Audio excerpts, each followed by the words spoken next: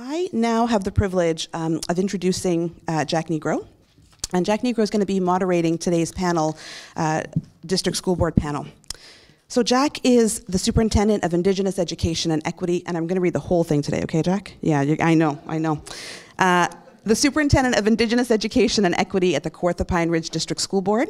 He is the past Superintendent uh, of Curriculum at the Halton Catholic District School Board, which included responsibilities in equity and inclusive education, newcomer students, new teacher induction, and kindergarten.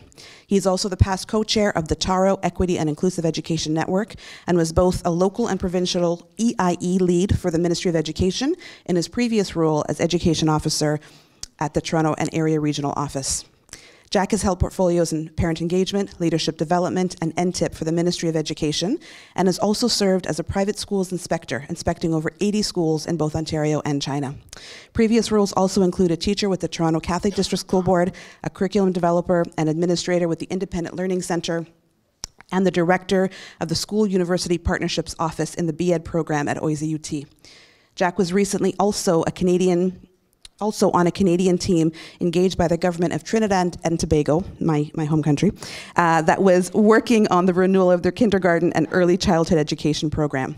He is also, most, most importantly, a very, very proud uh, adjunct professor here at York University. Please welcome Jack Nigro.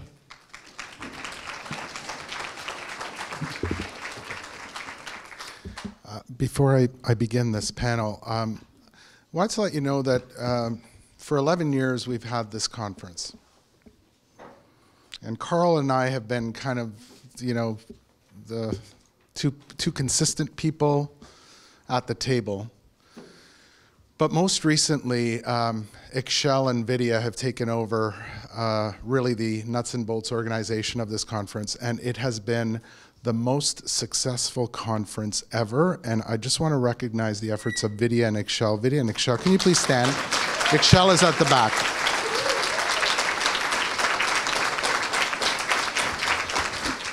A lot of different people in the room, so I think it's important to begin this part of our conference today with a bit of a historical retrospective on uh, equity as it has existed in Ontario. And I'm talking about the recent past. Uh, most of you in the room will have been born at the time that uh, I'm going to start the, the history and you'll begin to see um, kind of the evolution of the idea of equity in the province and how we've gotten to today. And so, um,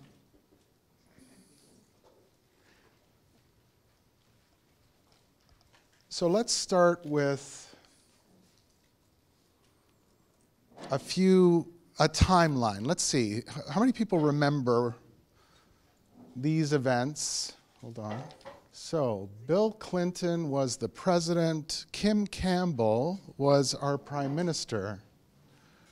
Um, let's see. Okay, so Joe Carter hit the winning home run. Jurassic Park was uh, top of the list for movies. Whitney Houston, boy, we miss Whitney. And the world, oh, there it is. Okay. Well, what year is that? Gave it away. 1993.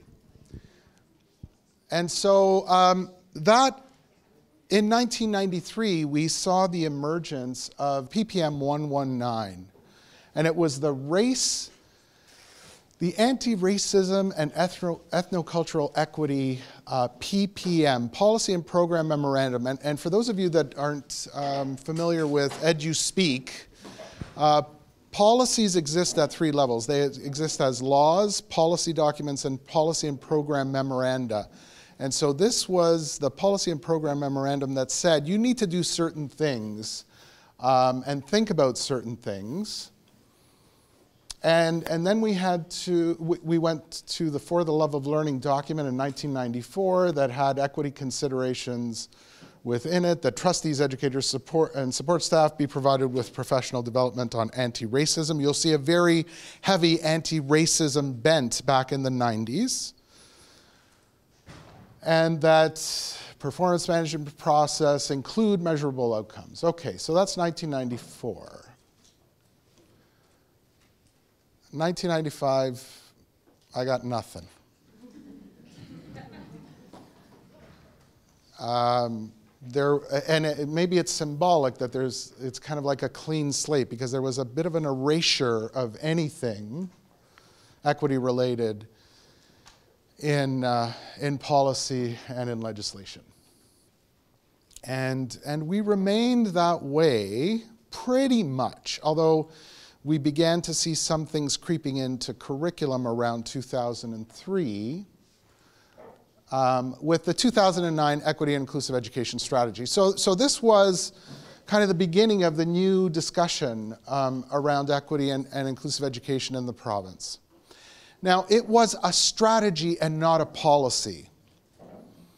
So what that means is that you know a lot of what was written in here, um, boards were asked to do, but were not actually mandated to do it.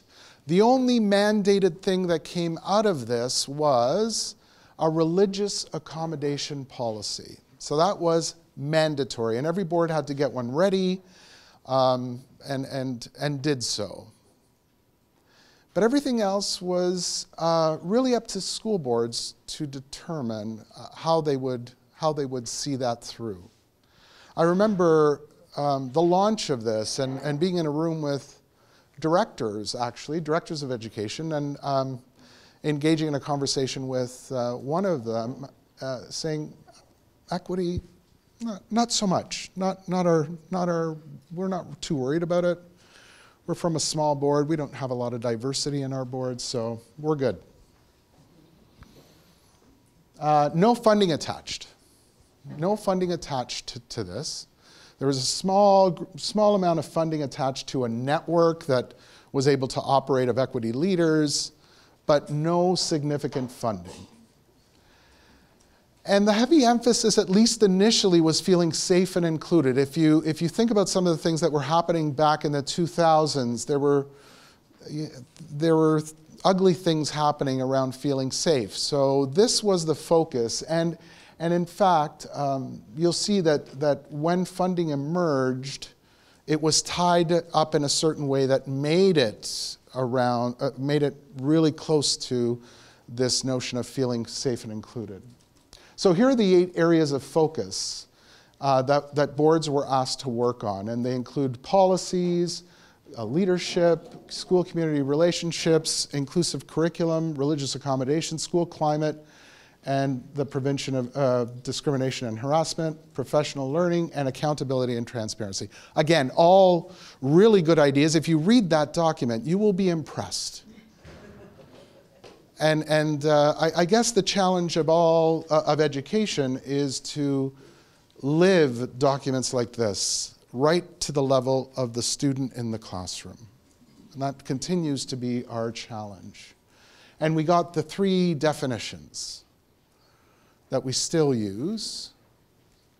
Uh, we've modified some of them to uh, make them more understandable to the people that we speak to in terms of which, whichever audiences we're addressing. But those are core definitions that we still see. And this, and you know, for the first time, many people started using this graphic, and there have been tons of modifications. Um, but it, it really tries to describe to the layperson what, what re- equity really means. Now, I, I, would argue that there are a lot better ones that have emerged since. Uh, but this was the one that everybody kind of knew and was up on some school walls and, and such the like. And so 2014 came. And I remember, I remember with Michelle, because Michelle and I were closely at the time, uh, we were so happy to see that ensuring equity was the second priority. Wow, that was awesome. Except we were a little confused because we, we saw, we read past the, the main um, goal there, and then looked at it and thought, okay, this is an interesting uh, uh, interpretation of equity. And, and at that time, equity was coupled with well being, right? And, which is fine. No problem with uh, being coupled with, with well being. But I think there was more that, that all of us wanted in that. That, you know, it, feeling safe and included is great, but it's not enough because we have achievement gaps. And so, and so we, were, we were kind of talking about this, and, and that's why a forum, fora like this start to push at those ideas and say, yeah, is that enough or do we need more? And, and there was a little bit of funding, a little more funding now, but it was bundled with well being, mental health, and safe and accepting schools. It wasn't even, there wasn't even an equity category in there. So, so, practically speaking, what happened here in school boards is you have a well being lead, you have a mental health lead, and you have a safe and accepting schools lead and an equity lead. Here's a small amount of funding, have a fight to see who gets it. So, you know, in its simplest incarnation, that funding was divided in four between those three or four portfolios. Still, still very minimal. Now, look, on the funding piece, you have to realize that boards can allocate more funding than the ministry allocates to anything. And some boards have chosen to do that. Many of them are represented on this stage and, and in the audience because uh, there are boards here that allocate significant uh, discretionary funding to equity. But for those that don't, you're really strapped because you have to convince your trustees that it's worthwhile. And even the, the, the, the, boards that have have had to go to their trustees and convince them that this is money well spent. So that was achieving excellence. And then in September of last year, we got the Education Equity Action Plan. And this, again, crept closer to what, what hardcore equity advocates, I would call them, want, right? Now we're talking about other things. Now we're talking about, you know, regardless of background, identity, or personal circumstances, every student has an opportunity to be successful. And we had four key areas, right? Now we're getting into curriculum. Equity is about curriculum in many respects, right? Are our students represented in the curriculum that they experience in the classroom or the schools? And, the, and we talked about leadership governance and human resources. Who's in our schools? Who's leading our schools? Do the, do the people that are the people in our schools and who are leading our schools represent the diversity of Ontario? And I say that very intentionally because there are areas like mine that aren't very diverse. But our students will be interacting with students from all over the province in their lives. And they need to see teachers who represent the diversity of Ontario, leaders who represent the diversity of Ontario. So now we're getting closer. And data collection, integration, and reporting was kind of the cherry on the sundae, right? Because this makes everything focus on who's not succeeding and why. And when we talk about students who are not succeeding, we don't blame the students. We always look back on ourselves and say, there's a reason they're not succeeding, and it's centered in the classroom because of their experiences. So, what can we do differently? We don't want to change students, we change what we do to help every student be successful. So that's the Education Equity Action Plan. And when we get to data collection, integration, and reporting, there's the goals within the Education Equity Action Plan. Now, um, I said yesterday to those who were in the room yesterday, two school boards have already engaged in this in a fulsome way. Uh, other school boards have done uh, work represented at this table toward that. Um, and in the boards that, that have done so, there have been some things revealed on differential suspension data, achievement data. Some groups of students are, are achieving at differential levels. Um, there are questions about who is being streamed into applied courses. So these are the types of data that you can begin to deconstruct or have conversations about when you collect these data. And, and again, the, the way I like to position all of this is that data gives you the ability to ask questions, not so much make conclusions. And so, some concrete things that will be happening next year based on this is changes to the principal performance appraisal and supervisory officer performance appraisal that focus in on equity accountability. There are 0.5 equity SO positions in the Toronto region and in the Thunder Bay region. Approximately 30 pilot school boards will be doing data collection. There is a regional human rights resource person in every, each of the six regions of the province. Culturally relevant and responsive pedagogy round two boards. There was a round uh, last year of 12 school boards that, that did work on that.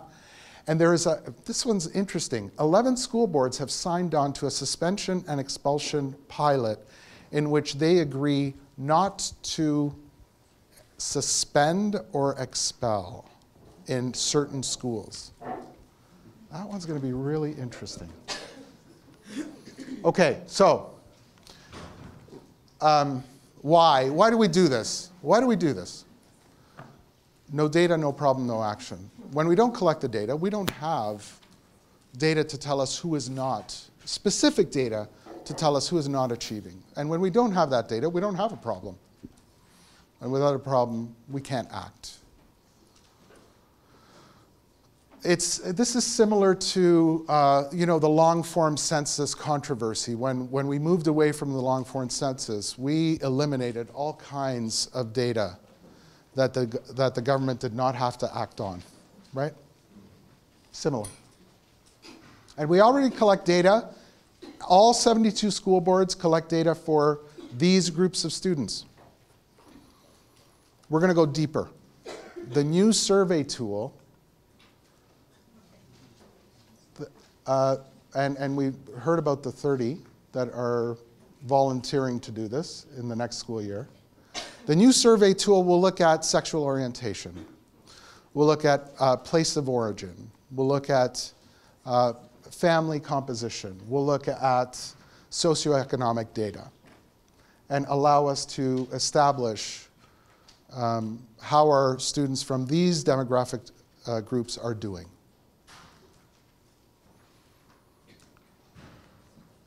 Now, um, I, I spoke briefly about the, the network that we're establishing in collaboration with York University. Um, Carl will co-chair it.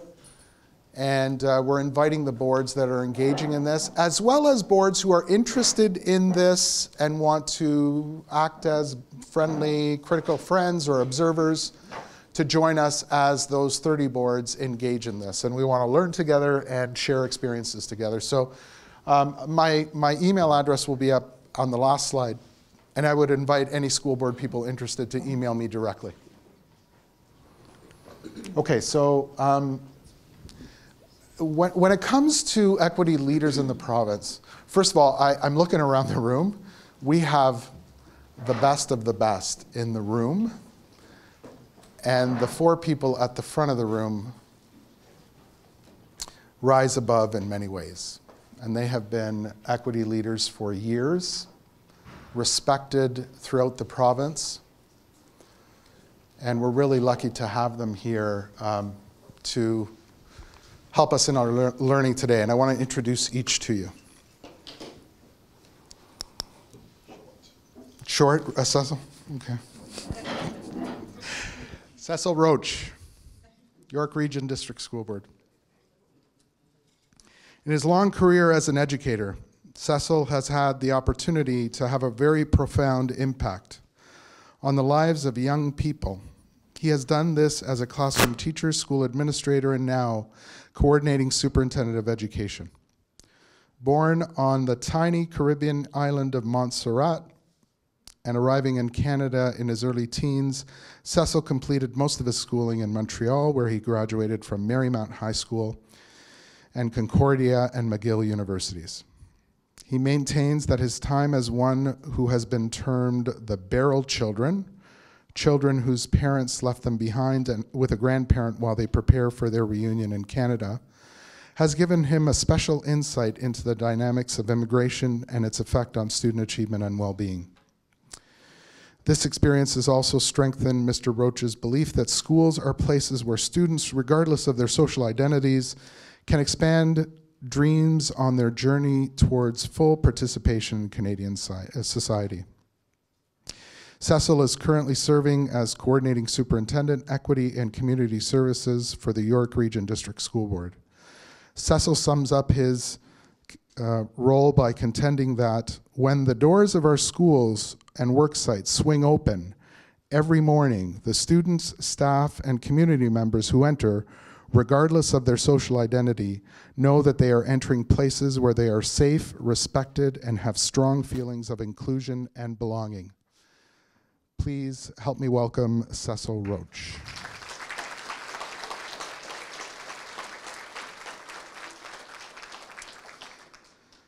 Pauline Grewal is currently the Associate Director of Instruction and Equity with the Peel District School Board.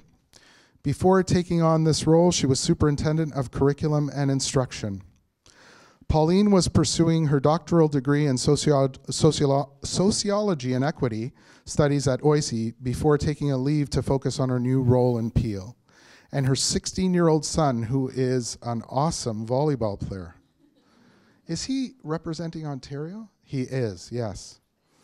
I follow him on Twitter. Pauline is str- a strong advocate for equity and inclusion, currently the board lead on the We Rise Together action plan to support black male youth. And Pauline has co authored a book for the Ontario Principals Council, The Principal as Equitable Leader. She often talks about the importance of recognizing lived experiences of people and the critical role of narrative inquiry in curriculum and leadership development. Ladies and gentlemen, Pauline Grewal.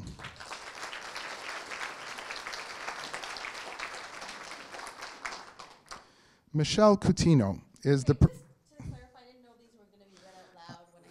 All right. I'll edit as I go, Michelle.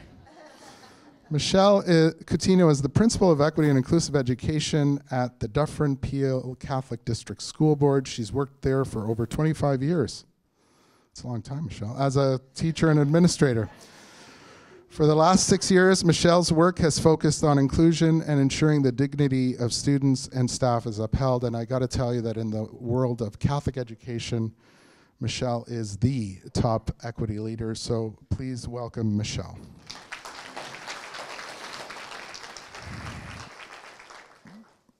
Mohammed Hamid is a lifelong learner and is Superintendent of Education with the Durham District School Board, who is committed to equity and inclusion. He has spent the last 23 years creating innovative learning culture and is currently most passionate about the work he is doing to support the diverse communities of Durham. As an immigrant to Canada turned educator, Mohammed has developed a unique perspective when it comes to education in marginalized communities. Influenced by ongoing conversations with knowledge keepers and elders, he aspires to bring multiple ways of knowing into schools and classrooms. While education is his primary job function by day, Muhammad also enjoys spending time with his family and finding mountains, waves, and roads to ride. Please welcome Mo Hamid.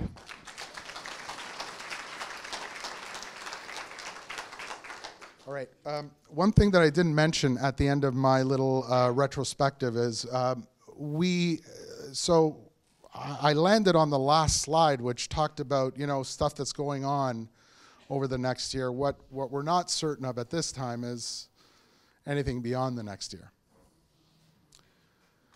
And so I've asked the panelists to, um, without getting too political, folks, uh, you know, we, we're really about kids, but we recognize that this is a political thing.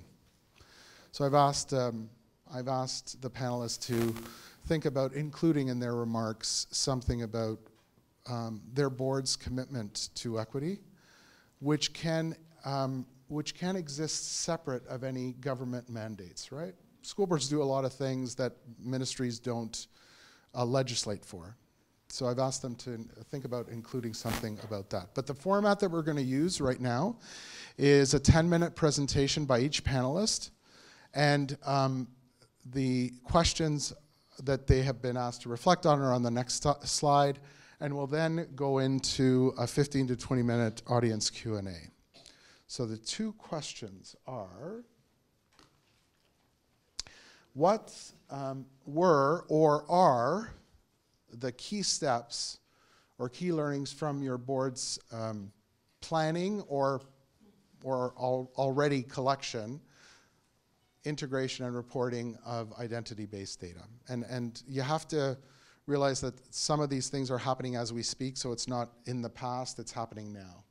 And what challenges and opportunities have emerged or are emerging in the process of identity-based data collection, integration, and reporting. And uh, we, we had a discussion about who would go first, and uh, Cecil's name came up as the, as the um, respected person in this, most respected person in this panel. So I, I didn't say Elder. So we're going to start with Cecil. And uh, so I'll let you know that um, we need to work on our anti-bullying policies here because I think I was bullied. And um, kept saying, you you go first. No, no, you go. Anyway, so I'm it. Um, first of all, how many teachers are in the room? Amazing. So really, you guys are where it's at, okay? You are where the rubber hits the road, I'd like to say. Um, it is the work that you do that will that really make the difference in students' lives.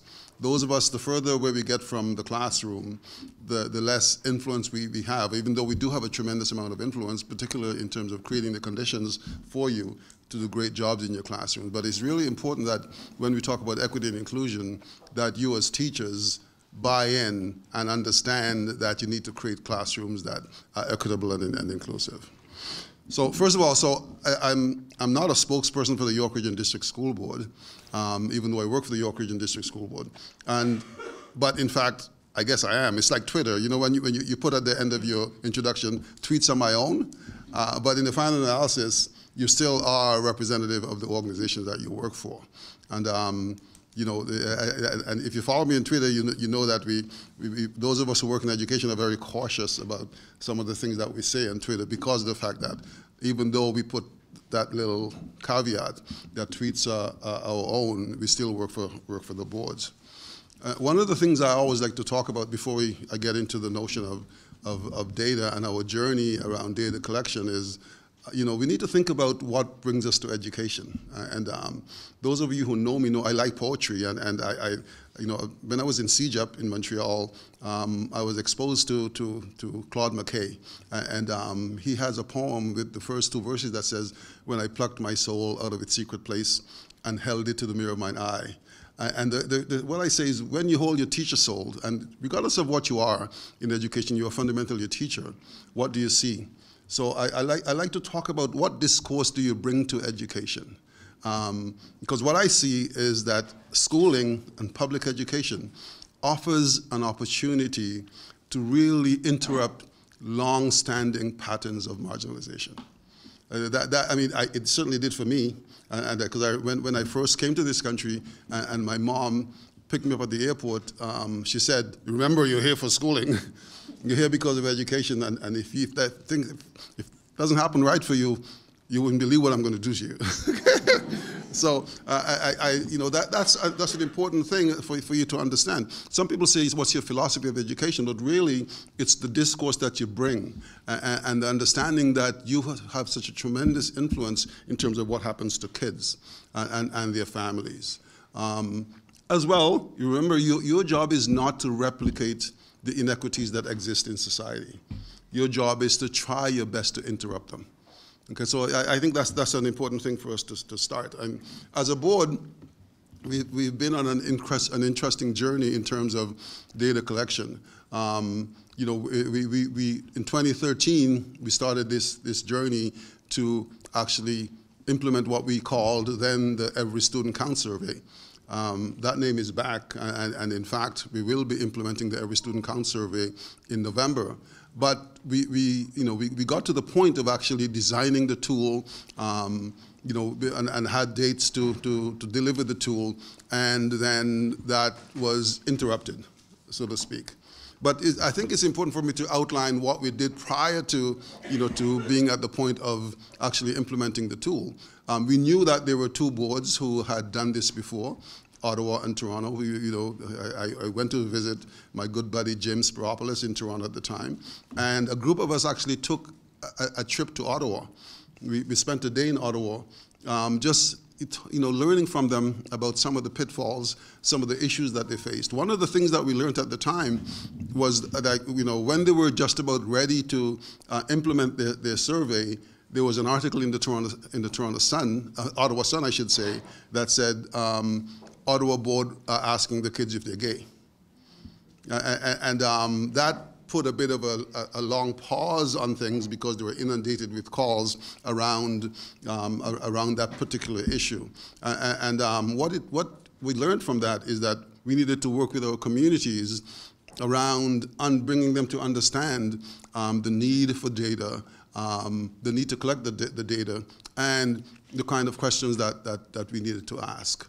So we, we certainly, you know, we knew that we weren't going to uh, invent the wheel or reinvent the wheel. We're going to learn from those who had done it before. Um, you know, and, and, and, you know, I've always, like, like, like, it's really interesting when I think about data collection because to me, it's been over 50 years that I've been hearing about this, it seems, that this notion of, in two, two provinces. I, I, taught in, in, in, Montreal for eight years before I came to Ontario. And again, back then they were talking about data. But I think the Quebec government at, at, at the time understood schooling as, as, a, as a way of, of, of changing society because if you know anything about the La Révolution Tranquille, the Quiet Revolution, they actually used schooling as a way of transforming their society and, and actually of, of ensuring that, that Franco that, that French, French Quebecers actually actually regain control of their society through schooling. Uh, they, they did it by bringing in free CEGEP, which is taking two years out of the university and making it into a free, um, you know, college system that everyone had to access, everyone had access to. Uh, you know, so you either went to college and did a three-year, let's say, nursing diploma, or two-year pre-university program. So Quebec understood quickly that, that education was the way of changing their society, and they've done, they've been very successful at, at, at doing that. So, you know, we, we, I think we understood that, that, you know, we can't have 50 years of chronic, persistent underachievement by identifiable groups of students and think that that's normal. Okay, you know, we, we cannot have 50 years of a clear achievement gap. I know that's the term in Ontario, uh, achievement gap for identifiable groups of students. I mean, we know the numbers for black students. When I first came to Ontario, there was talk about Portuguese students and, and, and how they were underachieving. Um, we understand, we, we now fully understand the embarrassing issue with indigenous students and, and, and the fact that, that their, their dropout rates and their achievement rates are actually you know, I, I think a national shame, actually. Um, when you think about it. Uh, and, you know, of course, we know that student social identities are not linear. They're, they're certainly intersection of identities um, because we know that many, I mean, these very students, same students actually live in the lower rung of the socioeconomic ladder. Um, like I, I know, if you look at the TDSB data, you'll see, for example, black students, between 69 and 80% of them live in the two lowest come from families that live in the two lowest income. That is, families who earn less than $30,000 and families who earn $30,000 to $49,000.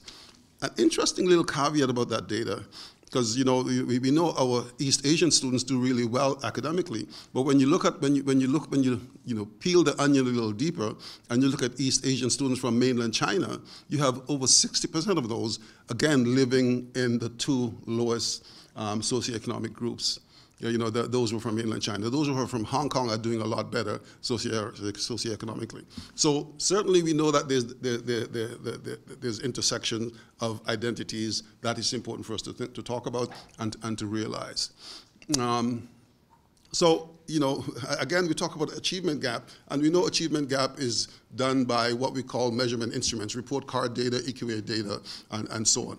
But there's also an opportunity gap that we need to know about. And the opportunity gap is who are our kids that are uh, in the, the, the, applied stream or, or, the college workplace streams? Who are our kids that are getting suspended and expelled?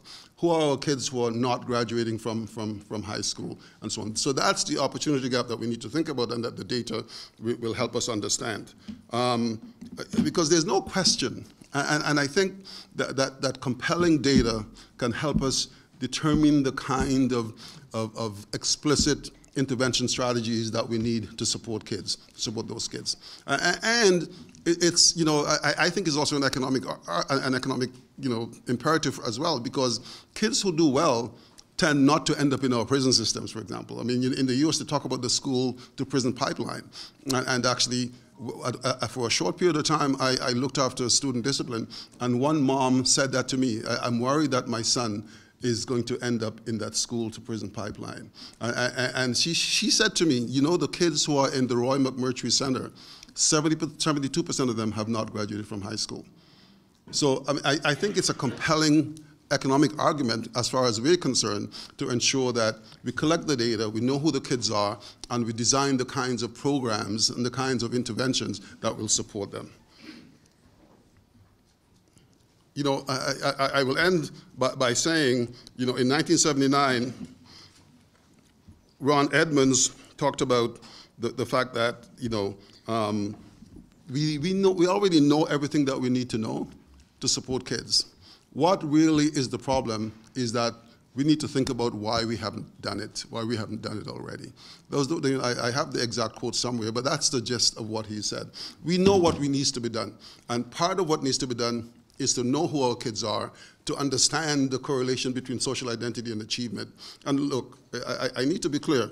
Certainly, success in school is more than academic achievement right? And we know that, for example, our 2S LGBTQ kids, they may do well academically, but they, they, if we have high suicide rate, a sense of, of not belonging to the, to, to the system, um, a sense of, of being bullied, so clearly it's, it's a problem if, you're a Jewish kid and, and, and you're living in a, in a community where anti-Semitism is rampant, clearly your schooling experience is not going to be is not going to be good, even though you might be doing well academically. So I, I think the schooling experience has to be a total school experience where all kids feel that they belong, feel that they're welcomed, and feel that they're included. And, and I'll, I'll leave it at that and um, perhaps answer any questions that you may have. Thank you, Cecil.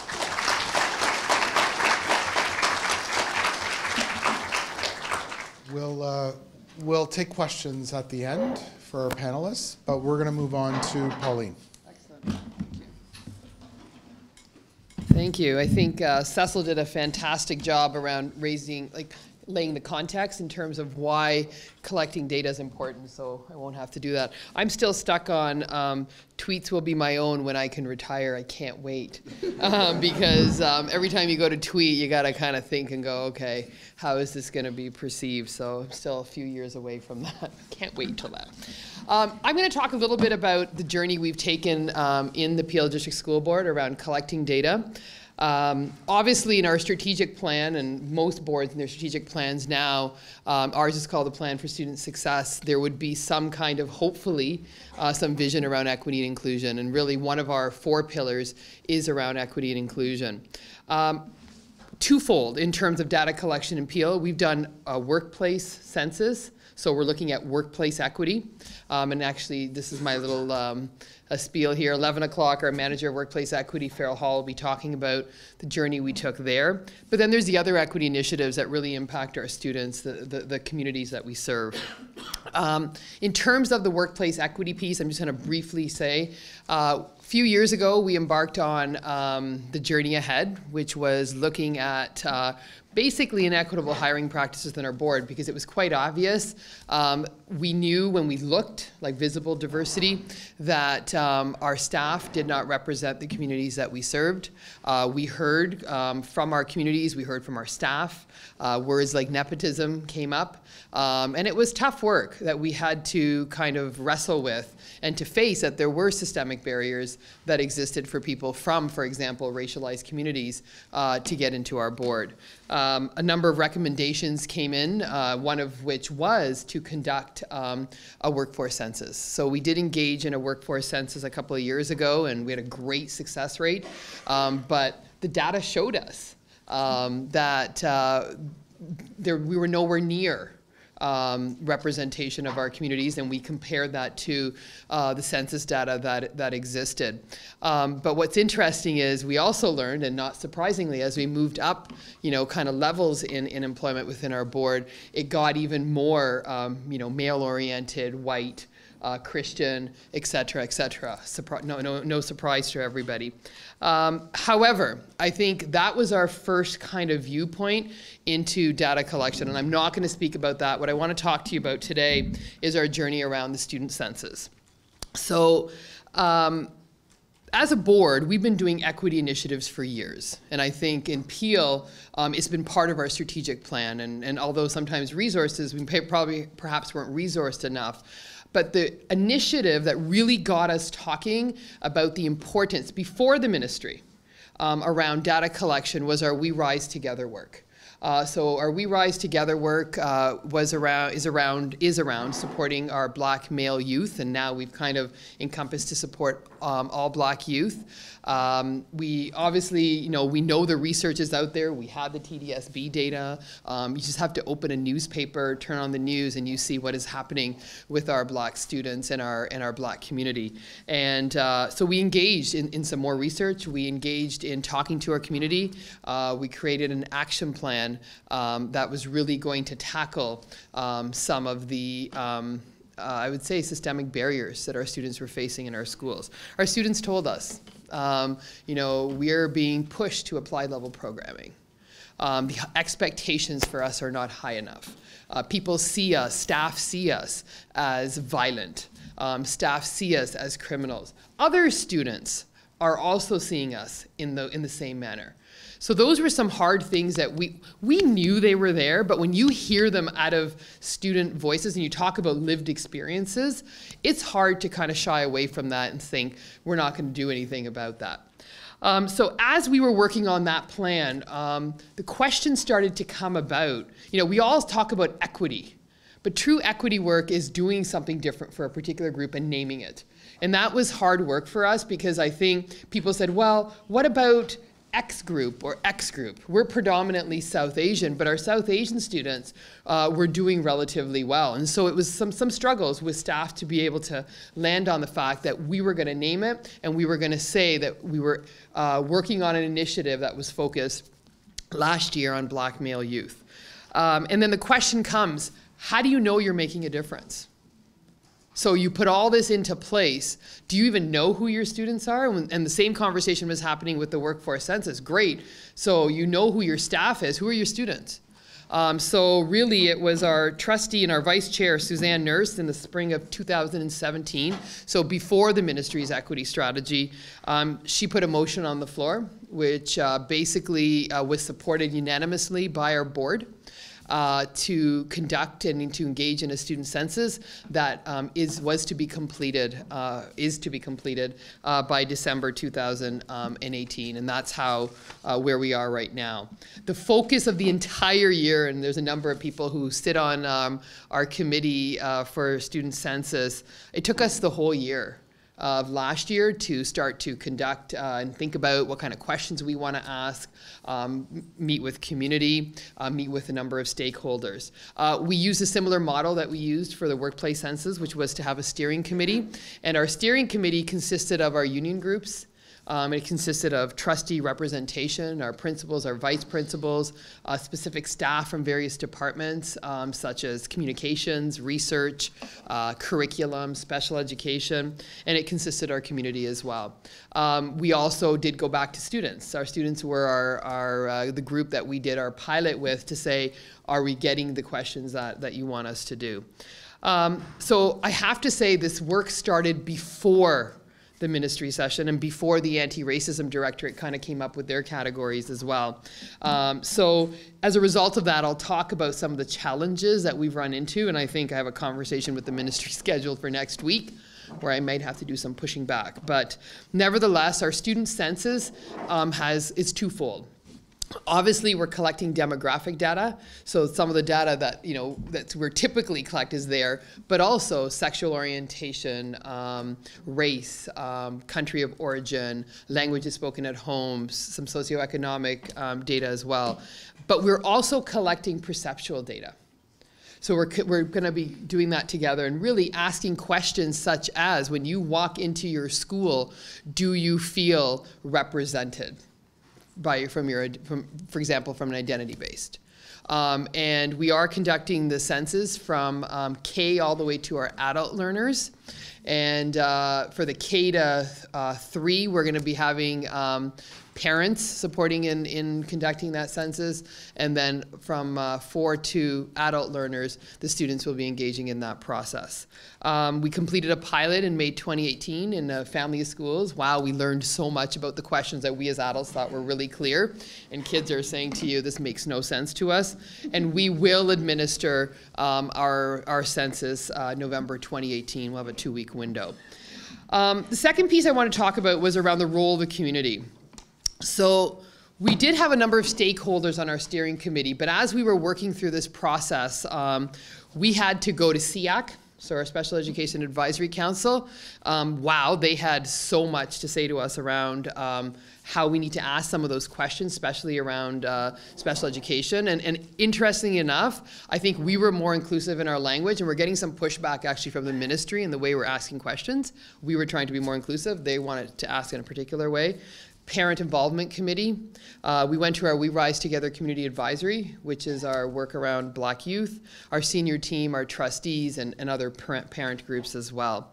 The biggest question we heard from our community so, okay, that's great, you're going to get this data, what are you going to really do with it? So you have it. Are we just going to be buying into some of those same concerns um, and blame the student or blame the community? Um, so the big question that we're going to be wrestling with is are we ready to deal with what the story the data is going to tell us? Um, are we going to get into that blame and shame game that sometimes we often do in, with marginalized communities? Or are we going to be introspective and start to think what are those systemic barriers that have led for students um, to feel and, and be in, in certain situations. I always say um, data can always be manipulated. And this is where community needs to play um, a very important role because they're not going to trust us if we are going to be sitting in our ivory towers and uh, analyzing this, uh, this data. A couple of challenges I just wanted to highlight before I uh, finish off. First of all, um, challenges. The number one challenge is always around resources. But if your board feels this is important work, you're going to put um, resources towards it. The ministry was great in providing uh, money for us. We're part of the first kind of wave of boards doing this. But also, we have a very large research department. So we have the support there to be able to do the work, and we're collecting all the data in-house.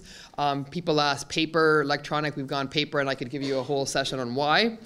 Um, but the second challenge we, we are experiencing right now is because we were ahead of the anti racism directorate in the ministry, we're having to justify what we're asking and why we're asking and how we're asking after we've done community outreach and input. So, my conversation next week with the ministry is no, no, no, no, I get it, you want me to ask this way, but we have worked a year on these questions. So, you can't come here right now to tell me that we got to ask it differently because we have built the trust with the community to say this is how we're going to ask questions. So that's been huge. And then the biggest thing I'm going to say is going to be around understanding how we're going to look at the data. Are we aware of our biases? Are we aware of our stereotypes? Are we aware of our power and privileges we're looking at that data? Because if you just look at it through the same lens that we've been looking at sometimes equity initiatives, it doesn't matter how much data you have. You're going to manipulate that data so that it suits what you want to do and how you want to perceive um, certain communities. And then the final piece with, I think, the, the whole politics that are going on now, not sure what's going to happen, equity work will continue. Um, we started this work not with because the ministry told us. We started this work because our communities expected us to do it, our staff expected us to do it. It's the right thing to do. In some ways, there's a little bit of excitement to say we're going to go insular and do the work that's uh, most important. Um, in our in my Sikh faith, uh, we have a saying that says "Chardi Kala," and Chardi Kala means joy and optimism in the face of adversity, and and that's the way we'll move on.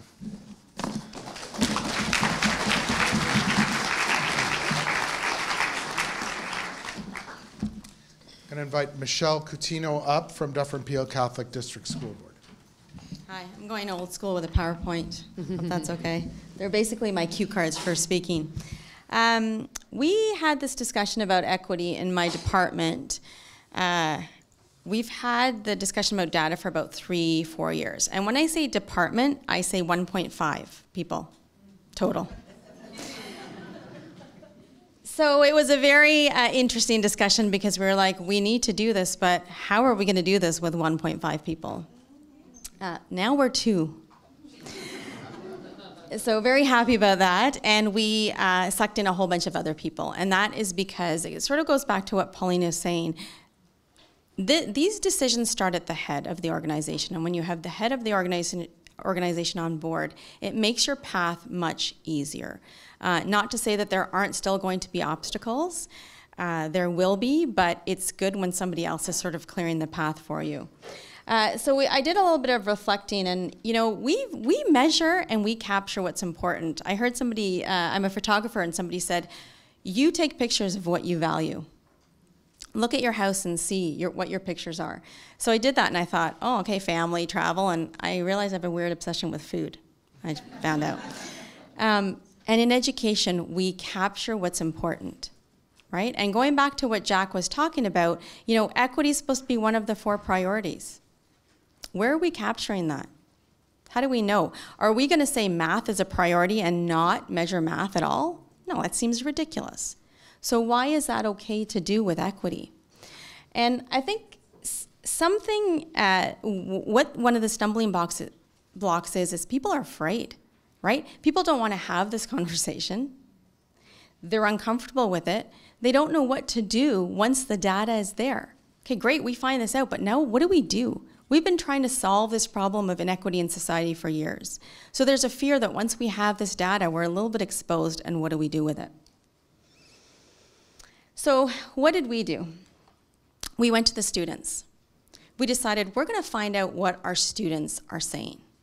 I don't know if you've ever had um, an argument with your, your significant other or your partner. Um, I can't say you did this and you did that because they, they just come back with an argument. If I say I feel this way, it's hard for them to argue that. So that's what we did. We thought, let's find out what our students, what their experience is. So we did last year an online survey. It's completely voluntary. Uh, we had a lot of uptake from our schools, which is great. We had entire classrooms and departments bringing their kids in, having them access technology so they can complete this online.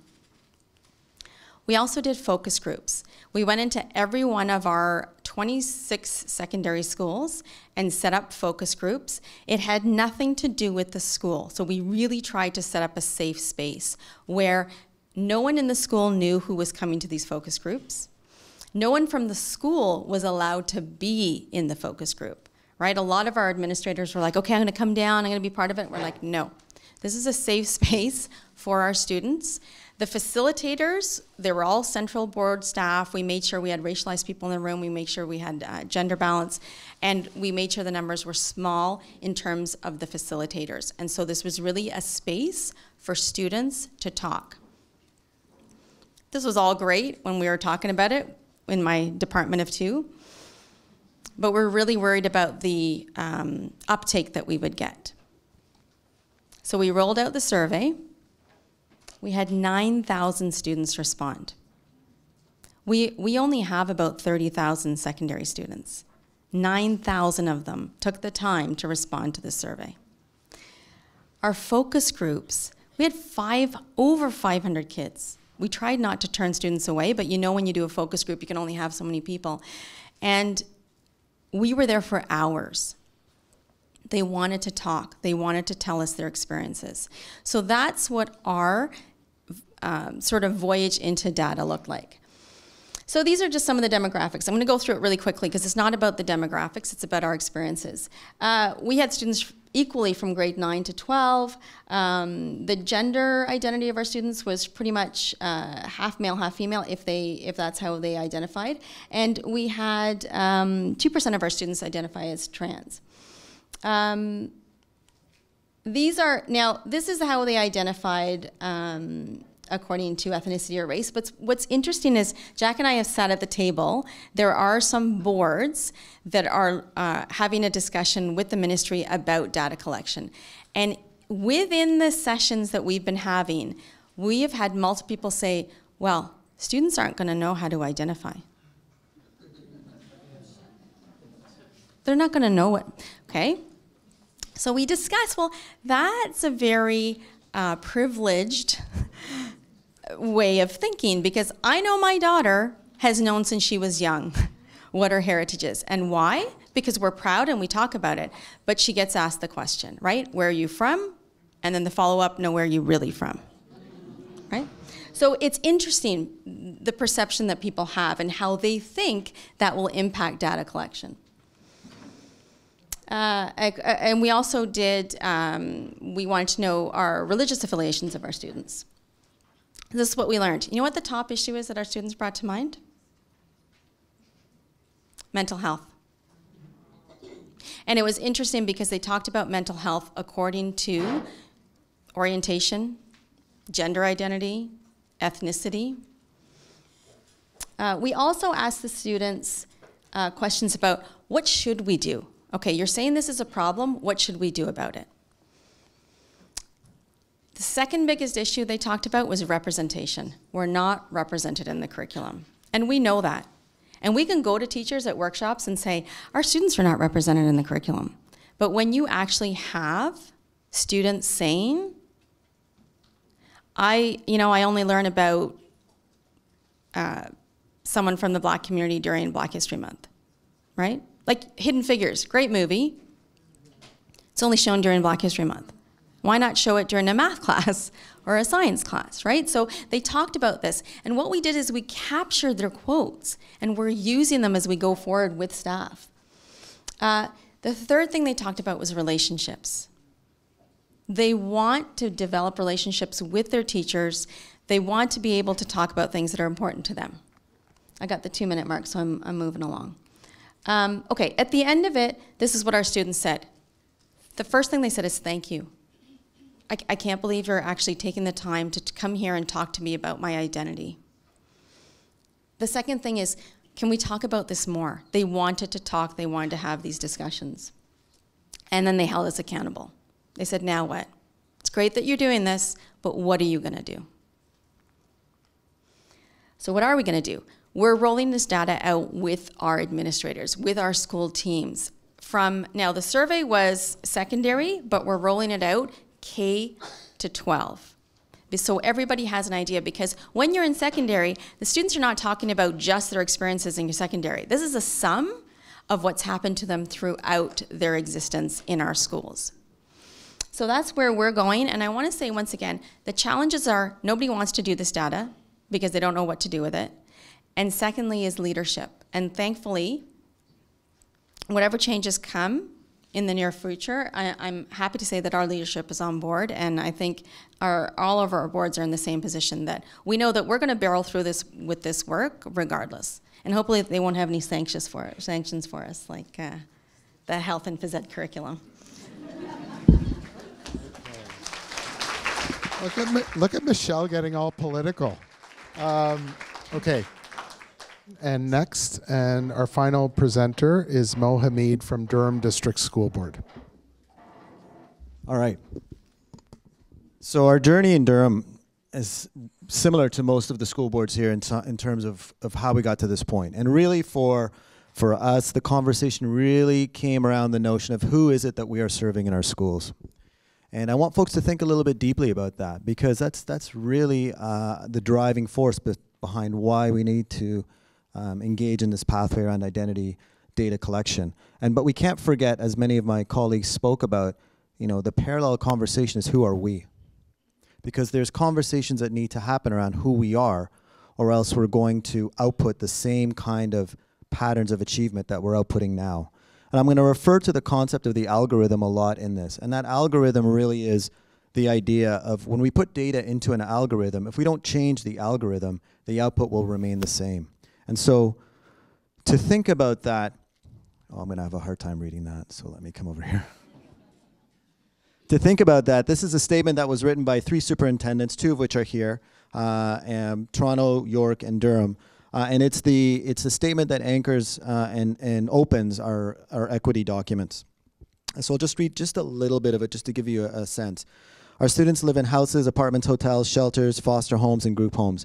Our students live in communities that are rural, urban, quiet, exuberant, fast paced, tightly knit, or loosely connected. Some of our students express their gender identities in a male female binary, others express their gender identities on fluid continuum. They all find love in different ways. Our students come from families that are led by same sex partners, single parents, partners who are married or not, grandparents, foster families, aunts, uncles, or siblings. And I can continue on. But that gives you a sense around the reality of the dimensions of identity that are in our classrooms and in our staff. And so, if we as educators are really thinking about this notion of a sense of belonging and developing a sense of belonging, the notion of identity data is critical. It's a critical conversation that we need to be thinking about. I often refer to the idea that you need to have Maslow before Bloom's. You need to have develop that sense of belonging, that sense of safety, emotional and and physical safety. Because if you don't have that, even the most well thought out lesson plan will not work. It just won't work.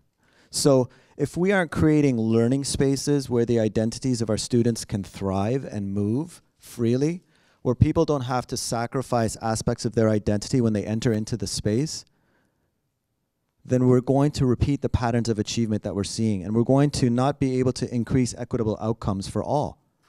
It just can't happen. Very briefly, just some data from Durham, and I'm sure it's data that you've seen uh, because it mirrors the data in the GTA, just in Durham alone, and this is from 2011. And this has changed so much since then, as I'm sure you can, can imagine. 66% of the population growth in Durham has come from immigration. 66%. And with that immigration comes increasing emerging identities and dimensions of identity. And that's not even including the communities that have been existing in Durham for a long time, our indigenous community, our black community. Those communities have been existing in Durham for a long time. So it's essential that we start to integrate data streams into the algorithm that helps us to understand that. And that's where the role of community comes in. Because community are, are critical partners in this process. Critical. Because if we don't engage community beyond consultation. It must be beyond consultation. As essentials, essential partners in this process, that algorithm that I talk about will not change. Because what community does is it helps us to understand different ways of knowing and understanding and thinking. And we need to ask ourselves what are the multiple ways of knowing that we have sitting when we are working through streams of data and trying to break that apart? How are we thinking differently? Pauline spoke about that. If we don't do things differently and think about things differently, that algorithm will just output the same patterns of achievement. And we also need to think about the reality that trust is not there when it comes to identity data collection. Just think of self identification with our indigenous communities. Just think of the history of what has happened when we've collected identity data in our past. We all know examples when we start getting into classification and symbolization, we know where that leads. So why would the community trust this process? So these are very, very critical conversations that we need to explicitly have. And these are the conversations that in Durham we're starting in this journey. We're a little bit behind. We're starting into the data collection process this year. This is the year that we're doing all of these pieces. And so the challenge that we think about really when it comes to that community piece is the engagement.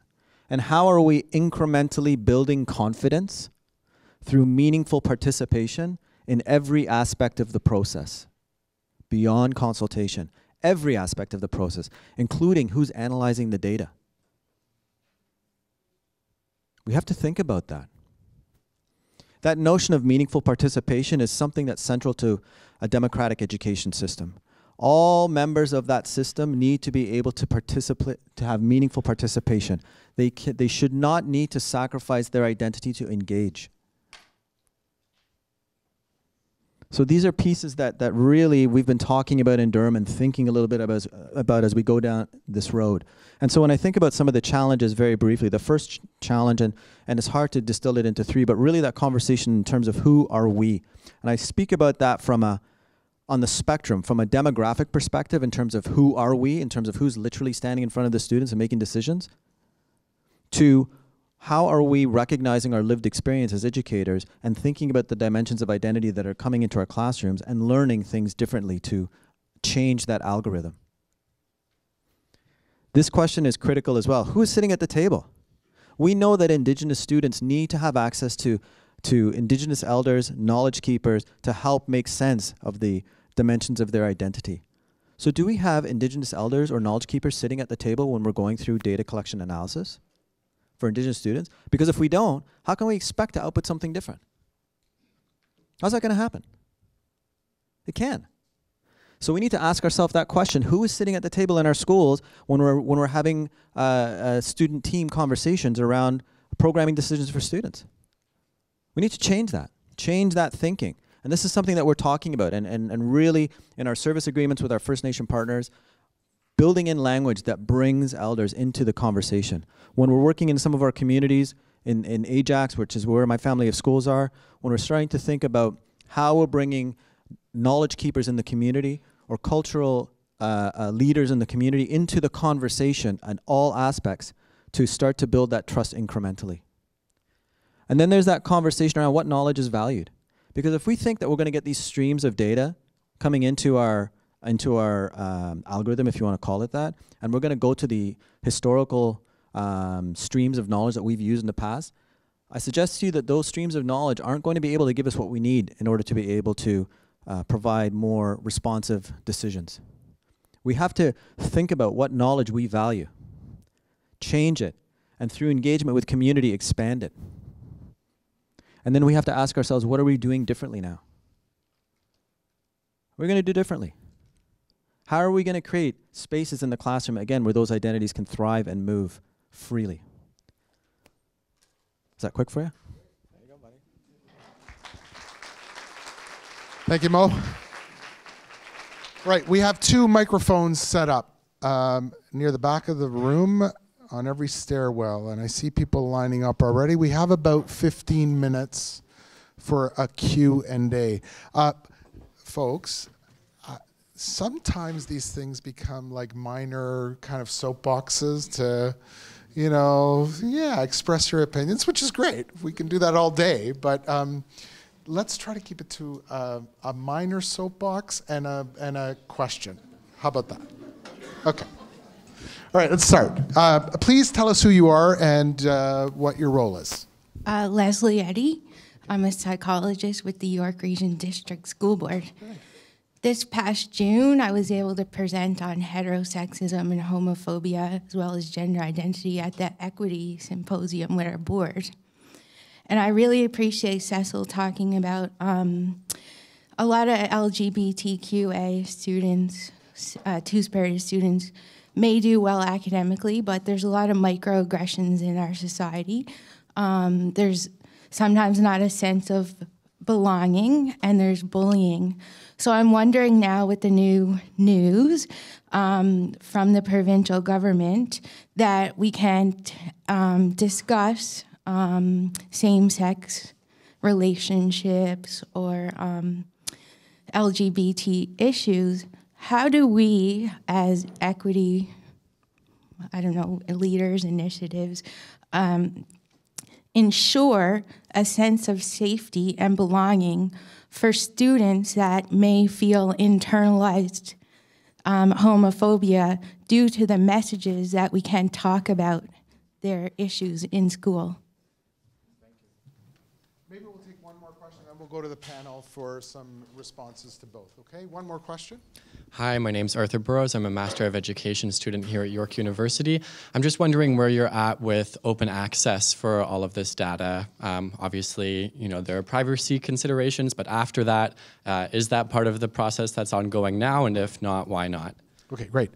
So let's go to our panelists. Uh, Cecil, do you want to take the uh, I think I'll take on the first one. Yeah, How's sure. That? Um, and so it's important for me to say that support for 2S LGBTQ students goes beyond the health curriculum. Uh, and, I think it's important that, that you know boards, and I think most boards are, are, are either there or on that journey, that we develop the kinds of supports um, to support uh, you know this, this, part of our social identity that's in our schools. And a lot of the work uh, uh as well will will be relying and partnering with staff and students who are 2S LGBTQ. Uh, uh, you know, I, I, always say, like, I come from a community that is a loud, um, strong advocate community. Uh, that, that, you know, that, that's, that's how we've gotten things done. My mother used to always say, you stand on the shoulders of people who have make noise when there's trouble. Uh, and I, I, always say, you know, it's important that our 2S LGBTQ staff stand up and be counted in terms of advocating for the kinds of supports that you need in, in school boards. Um, you know, as, as I, I, speaking as an ally, obviously I can't speak for 2S LGBTQ staff and students, but I, I, I know that I want to support, but, but it's, it's critical that in all district school boards that staff feel that they can speak up about these issues and feel that they can work on designing the kinds of support that um, will, will, ensure that you know students and staff feel um, supported and included. Because we do have a lot of staff who also feel that you know there's a lot of microaggressions in, in staff room and, and, a lot of comments in staff room, particularly for those who are not necessarily out in, in their schools. And I know it's particularly tough for elementary male gay men who, who, who, who, work in, who, work, who work in elementary schools around this whole notion of how do I work with my social identity, how do I acknowledge my social identity in those kinds of contexts. But my, to me, the answer is you have to speak up and you have to speak out. Um, speak out, by the way, is the name of our conference to support um, towards LGBTQ um, students. Uh, you know, I, you know I, I think that's critical. It doesn't matter who the government is, you know, boards will listen to voices that are strong advocate voices. Uh, and, and um, I, it's just critical critically important that that happens. Um, there, there's no question, as I said before, that you know we, we, talk about achievement data, and even though kids are doing well, when I was a principal in, in, in, in, in one particular school, I had you know kids come to me and say, you know, you know, sir, um, you know, I'm hearing these comments, and there's something that we need to do about it. I said, well, why don't we form a gay straight alliance and, and, and start you know talk, talking about the kinds of things that we need to do to support you. Michelle. So, Cecil, when you started, can you hear me? When you started, you talked about bullying, right? right? And I think bullying has, um, in a sense, confined us. We need to start naming it. And Jack, this is something that you taught me. When we talk about student behavior, we need to name it. We need to use those words, homophobia. We need to use sexism when we use this catch-all of bullying, we allow people, thank you, to get away with things that they shouldn't be. We need to, part of our, when we're talking about discipline and we're talking about students who are marginalized, we need to uh, name the behavior. So if it's racism, homophobia, sexism, we need to call it out as teachers, as administrators, and I think um, that's a very powerful tool when we start to use those words. Uh, if I may just add uh, a reflection from our inner discussions at our school board, our students are LGBTQ to us and we address the needs of our students. And that's not, that doesn't depend on curriculum for us. I mean, everything that happens in a school is curriculum, right? Every experience that a student ha has. And when our students and our families represent diverse groups, that is our responsibility to engage and make sure that our students are taken care of. So that does not stop with expectations that don't, aren't included in the curriculum. Mm-hmm. Right? And remember one thing about expectations those are the minimum, the minimum standards that we are asked to, uh, to teach in our schools. We, we go beyond those all the time. So, I, now there's other stuff happening, and you know all about that, and, and maybe that's not the topic for today listen, we're going to take care of our LGBTQ2S students and families. Absolutely, no doubt about it. There's no question about that. And I wouldn't be afraid to, to deal with those issues as they arrive in, uh, as they arise in classrooms. Pauline's going to answer the second question. Yeah. Pauline. Yeah. So, sorry, just to build on the first question first. Uh, we also are um, under the the whole tenets around the Ontario Human Rights Code, right? So everybody has to be in an environment and education free of discrimination. So that's going to be definitely a leverage point as uh, we work through some of the challenges um, that perhaps are coming. In terms of open access uh, to data, um, so currently, uh, to be honest with you, Toronto District School Board has always been very open in terms of sharing their data, but obviously it's been done in broad strokes. Um, and we've relied on that data to um, you know, start some of our own equity programs as well. So obviously that data will be available to other people in terms of digging down and getting really kind of really deep. Um, those are still some conversations that uh, we'll need to have and make sure that um, we're being respectful to our communities and our kids. Um, and that obviously will probably involve a legal opinion to make sure that um, how deep we can share data outside of our school board. Great. Okay, let's move on to other questions. The other mic. Hello. Can you hear me? Yes. Um, my Your name, name? is my name is Sonia Hernandez, and I am a registered early child educator with actually York Region District School Board. Um, it's not so much as a question as um, I'm, I'm reflecting on the panel and how they have asked, first of all, from Mr. Mohammed, um, who are we? And I, I and I, I want to reiterate how important it is that that I say that I'm a registered early child educator. And the reason being is because, um, and I'm very nervous right now because this is the first time. I'm, I, and, and I'm, thinking about Mr. Roach who said, you need to speak up, you need to voice, right? So last year, um, all ministry, the Ministry of Education had sent all boards um, uh, mandate saying that uh, an, an um, educational development instrument needed to be um, done on senior kindergarten children. And um, now, ministry says that we are partners with the teachers, you know, but many times talking with colleagues, um, not just with York Region, but in other boards as well, you know, that's not always the case. There's no equal respect. Voices are not being heard, specifically registered early child educator voices. And only teachers were invited to do this, this survey. Um, and so I think this is one of the reasons why I came here because whose voice counts, really. I, I see myself as a partner to my teacher partner. I see myself as an equal partner, but not a lot of people see that.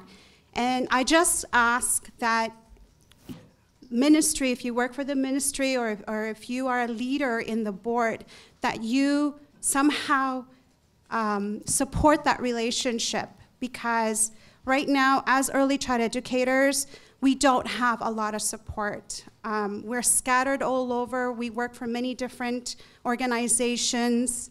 Um, and, and we're struggling to, to be heard. We belong to a college, right. the College of Early Child Educators.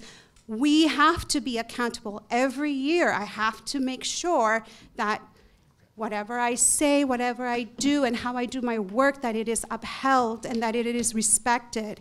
And, and, and I'm having a hard time with that. Th thank you for so your comment. Uh, as a past uh, kindergarten superintendent, I, I know about the problem, and I think we all have a sense of it, and we're all working to make that situation uh, better. But thank you for your question, and we'll leave it to the panel to uh, respond to in a minute.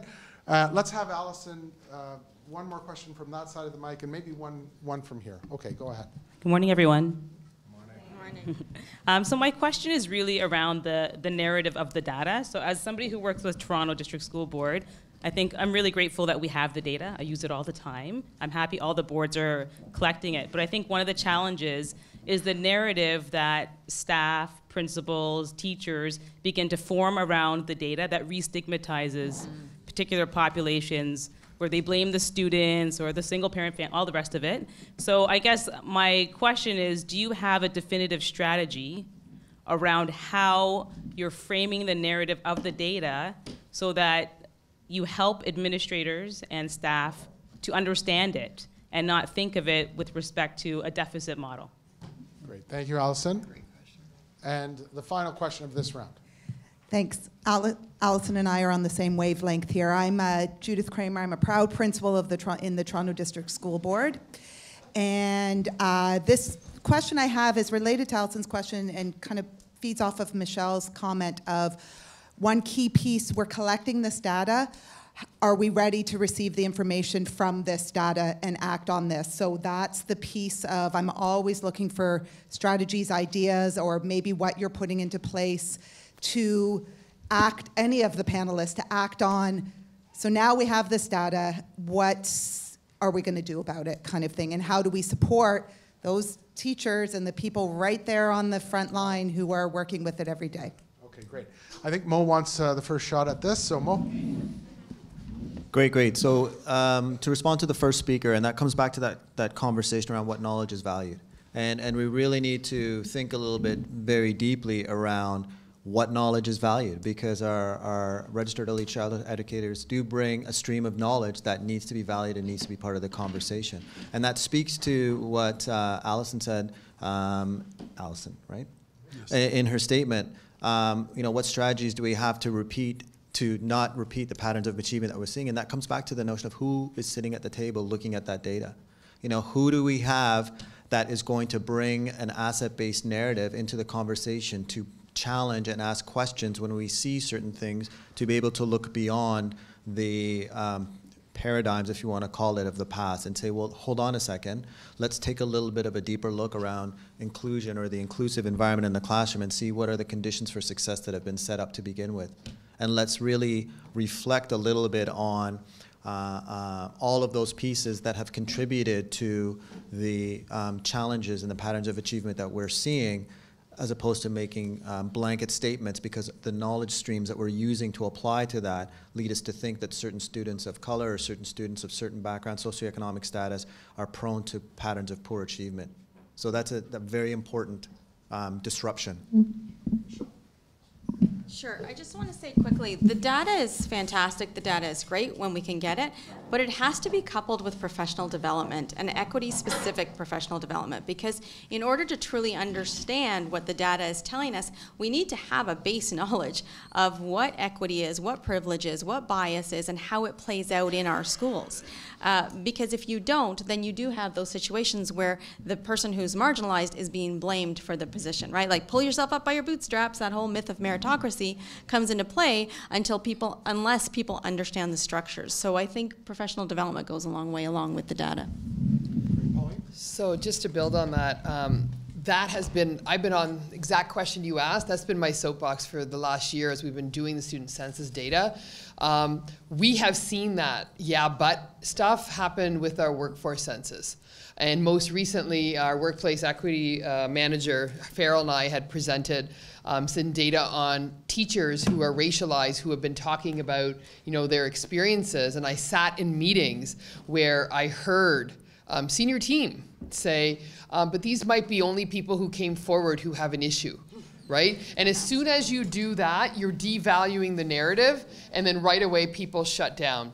Um, so Monday, uh, we are starting our senior team all year. The focus on our own professional learning is going to be on how do we um, really keep our bias. I'm not going to say you can never be bias free. It's bias aware um, that you're going to keep your biases in check. And when you're looking at the data, are you automatically looking at it through your privileged position? That is going to be the biggest issue. And to be honest with you, it is the biggest challenge that we're going to face uh, because absolutely it could we could be doing more um, harm and continuing the marginalization of some of our uh, most at-risk uh, uh students and, and communities. So um, that is where the rubber hits the road, and that's where I believe the analysis of that data becomes important, and that's why we need to work um, alongside community. And I just want to say around the ED, uh, EDI and stuff, I will tell you in Peel, the money only came for educators. We actually put money in so that um, ECEs would be involved. Okay, great. Um, now, uh, Cecil started the proceedings today and is ending the proceedings with this last comment. And make it good, Cecil. Go. Oh, oh, boy, no, no, no, no pressure. pressure. no pressure. I, I, you know, I mean, I'm a little bit jaded, I guess, when it comes to data and the narrative. I, I think I just want to get her done because we've been on this journey for so long, uh, particularly in our board. I just want to get her done. Uh, and you know, in terms of the narrative, I think it's important that we work as a board and as a senior team to control the narrative. I could remember go, being in a high school and, and the, the first report cards, the, the passing rate in calculus was like 48%. And, and, and, and I thought there would be a lineup of parents at the door complaining because that's what would happen in another school that I was in. Uh, and because of the nature of the community, that didn't happen because that community just trusted the school. And, and so I said, you look, look, I remember saying, look, here's my expectations. Passing rates have to be at least 75% in all classes, and if it's not, you have to have a conversation with me. It won't be an accusatory conversation. It'll be about what kind of support do we need to put into place to, to make sure that that happens. My God, everything like people went crazy. they, they, you, you, swear that I was starting a revolution. Um, but, but so the, the, the, whole notion of, of, of, controlling the narrative, I think it's important and is no, something that I know we, have been thinking about because we saw what happened in some communities when the data and, and uh, resulted in specific and deliberate intervention strategies, and those communities rebelled against those particular. In, Toronto, there's a Somali Canadian community that, that resisted this notion of, of, despite what the data was saying, where, where there res, was resistance around the kinds of intervention strategies that, that we need. We, you know, and, and I'm not going to take the position that as, as educators we know everything and we know everything that's right, but it's important that we work at controlling the narrative. I, I think TDSB has done a great job in terms of how they release the data to the public and what the, the, the, accompanying pieces around the, the use of the data. Because I hear it from communities, isn't that just going to stigmatize? And I hear it from teachers, well, if I was in a particular community, then I will get different kids, and of course the data is going to be better. So it, it, it's, it's critical, I think, that we control the narrative and we work on and, and, work with communities and with experts such as Dr. James to talk about how we can control the narrative around the release of data. What a fantastic closing by Cecil and opening too. Uh, so I want uh, please join me in thanking our pa panelists. They were fantastic. Vidya, do you want to say something?